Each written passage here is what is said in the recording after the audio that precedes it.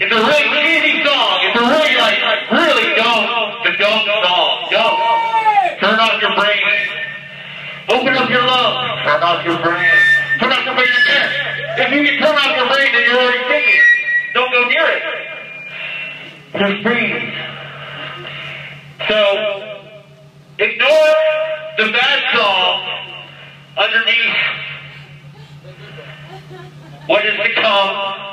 and we'll all get along. We'll get along? Even you. This is my worst song. My worst